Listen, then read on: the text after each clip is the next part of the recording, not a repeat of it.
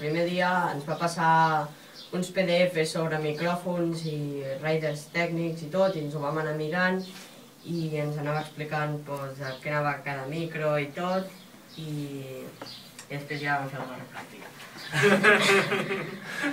Llavors vam estar tres dies fent la part pràctica. Primer vam fer amb uns sons, ens va ensenyar com anava el programa i vam fer la postproducció, que és els volums i moure els sons. Llavors l'altra classe vam començar a muntar tots els micros per fer la primera gravació i vam començar gravant el teclat, la Maite i jo, després la bateria el Marc, el saxo la Judit. I jo he comentat que la senyal, com si diguéssim, el, el nivell de, de so que, que, que entra la, a la targeta no ha d'estar no ni molt alt, que si està massa alt s'atura, com si se sent malament, se sent... I si està massa baix tampoc no és bo, com si diguéssim.